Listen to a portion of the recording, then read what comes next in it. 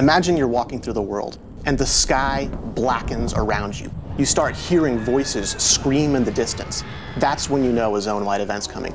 You better get some friends, you better get some people you don't even know, and you better be prepared for this. One of the most exciting things about Rift is that in addition to all of the static content that people are used to from other games, there's new types of things to do no matter where you go. Whenever you talk about dynamic content, you're talking about individual events that happen throughout the world, but everybody's waiting for that one that ties the entire world together. You've seen rifts and you've seen small scale invasions, but a zone-wide event literally takes over the entire zone. We're talking hundreds of players together and then we have hundreds of NPCs and tons of rifts open. I mean, just the whole sky goes crazy. I mean, just all hell breaks loose. So it is very important for us to listen to our players, and we absolutely do. People said, we'd really love an open grouping system so we can get together in these raids a lot quicker. And that's exactly what we did. When you finally, you know, you reach the biggest things in the game, you see a Colossi, you're not going to think this is a solo encounter, this is something I can do alone. You're going to want to run back down, you're going to want to grab everybody you can, you're all going to want to jump on that thing together.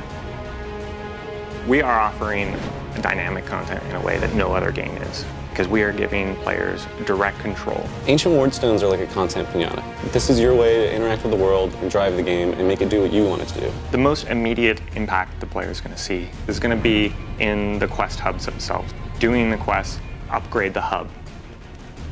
By turning on one of the Ancient Wardstones for your faction, you are turning off for them. It's a really fun part of the system. You get to go over there, blow up the other guy's Wardstone, and then take it for yourself.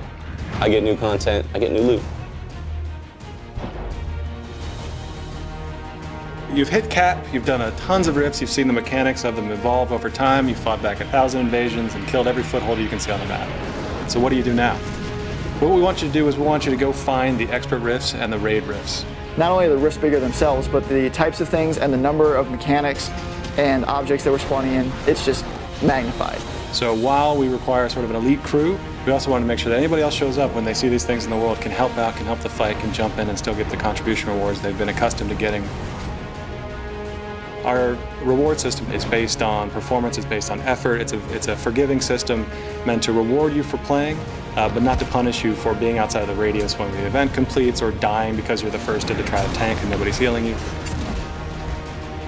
The best reward you get out of our dynamic content is the planar focus. And this is essentially an item which has this number of slots associated with it, and you're going to be able to get essences from doing planar content. They can power up abilities you already have or give you new abilities.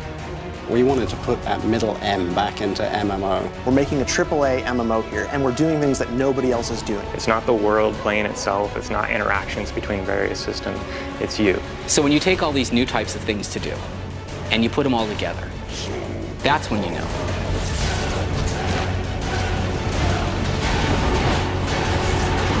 This is Rift.